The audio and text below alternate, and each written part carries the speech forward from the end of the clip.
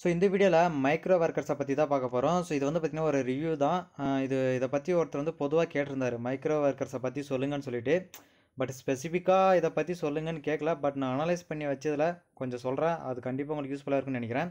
So micro workers அப்படிங்கிறது வந்து பார்த்திங்கன்னா ஒரு சின்ன சின்ன டாஸ்க்கு சின்ன சின்ன டாஸ்க்குங்கிறத விட ஒரு யூடியூப் சேனலில் போய் சப்ஸ்கிரைப் பண்ணுறதா இருக்கட்டும்.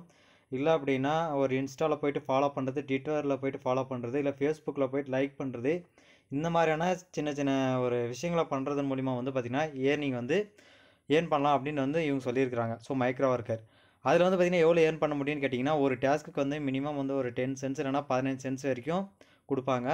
ஸோ இது வந்து பார்த்திங்கன்னா அவங்க சொல்கிற விஷயம்.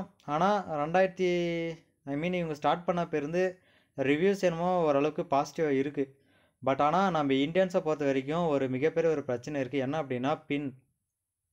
ஸோ நீங்கள் வித்ட்ரா பண்ணும்போது வந்து பார்த்தீங்கன்னா ஒரு பின் வந்து தேவைப்படும். ஃபஸ்ட்டு வித்ட்ராவல் பண்ணும்போது அது வந்து எப்படி உங்களுக்கு அந்த பின் கிடைக்கும் அப்படின்னு பார்த்தீங்கன்னா மோஸ்ட்லி வந்து போஸ்டல் அட்ரஸ் தான் கிடைக்கும். ஸோ உங்களுடைய மெயிலிங் அட்ரஸ் தான் வந்து பார்த்தீங்கன்னா அந்த பின் வந்து கொடுப்பாங்க.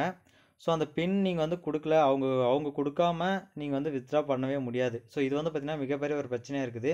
மோஸ்ட்லி வந்து நிறைய பேர் என்ன சொல்லியிருக்காங்க அப்படின்னா நான் வந்து காண்டாக்ட் பண்ணாலும் ஒரு இருபது நாள் வெயிட் பண்ணுங்கன்னு சொல்கிறாங்க ஆஃப்டர் அந்த இருபது நாளுக்கு அப்புறமும் கேட்டாலும் மறுபடியும் இருபது நாள் காத்துட்டு இருங்க அப்படின்னு தான் சொல்கிறாங்கன்னு சொல்லியிருக்காங்க. ஸோ நீங்களே பாருங்கள்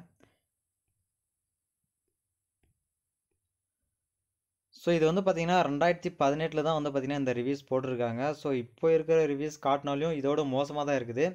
ஸோ இப்போ வந்து பார்த்திங்கன்னா இதில் தான் சொல்லியிருக்கிறாங்க. நீங்கள் வந்து உங்களுடைய பின் ஜெனரேட் ஜெனரேட் ஆகிறதுக்கு வந்து பார்த்திங்கன்னா இருபது நாள் ஆகும். ஆஃப்டர் அந்த இருபது நாளுக்கு அப்புறமா வந்து பார்த்தீங்கன்னா கேட்டாக்க மறுபடியும் பத்து நாள் வெயிட் பண்ணுங்கள் அப்படின்னு சொல்கிறாங்க ஸோ இப்படி வந்து பார்த்திங்கன்னா பல பிரச்சனைகள் வந்து இருக்குது. ஆனால் இதில் வந்து நீங்கள் எவ்வளோ ஏர்ன் பண்ண முடியும்னு கேட்டிங்கன்னா ரொம்ப ரொம்ப கம்மி தாங்க.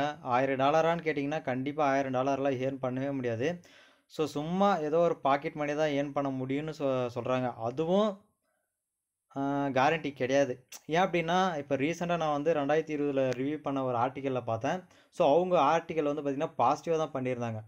ஆனால் அதுக்கு கீழே கமெண்ட்டில் வந்து பார்த்திங்கன்னா ஒரு அவங்க என்ன சொல்லியிருந்தாங்கன்னா கமெண்ட்டில் ஸோ நாங்கள் நாலு ஃப்ரெண்ட்ஸ் வந்து சேர்ந்து நாங்கள் ஆரம்பித்தோம் ஆனால் ஒருத்தருக்கு மட்டும் வந்து பார்த்திங்கன்னா அந்த பின்னெல்லாம் வந்துட்டு வித்ராவலால் அக்செப்ட் ஆகிடுச்சு ஆனால் எங்களுக்கு வந்து பார்த்திங்கன்னா அக்செப்ட் ஆகலை.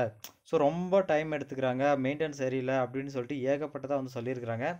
ஸோ நீங்கள் வந்து ஒரு பிளாட்ஃபார்மை வந்து ஏர்ன் பண்ணணும்னு சொல்லிட்டு உள்ளே வரீங்க அப்படின்னா கண்டிப்பாக அனலைஸ் பண்ணாமல் வந்து போயிட்டு ரிஜிஸ்டர்லாம் பண்ணிடாதீங்க. ஏன்னா இவ் இன்றைக்கி தான் டெக்னாலஜி ஆரம்பிக்க போகுது அப்படின்னா அது ரொம்ப கஷ்டம். ஏன்னா ரிவ்யூ பண்ணுறதெல்லாம் ஆனால் டெக்னாலஜி ஆரம்பித்து எப்போ எவ்வளோ நாள் ஆயிடுச்சு. நிறைய பேர் வந்து பார்த்திங்கன்னா ஒரு ஏர்னிங் பிளாட்ஃபார்மில் அதிகமாக அதில் போயிட்டு என்னென்ன இருக்குதுன்னு சொல்லிட்டு எல்லாமே பார்த்துட்டு ரிவ்யூவாக போடுவாங்க. வீடியோவாக இருக்கட்டும் இல்லை ஒரு வெப்பேஜாக இருக்கட்டும் ஸோ ரிவ்யூவாக போடுவாங்க. ஸோ மோஸ்ட்லி நீங்கள் வந்து அதை பார்த்துட்டு அதுக்கப்புறமா உள்ளே வந்து என்ட்ரு ஆகுங்க.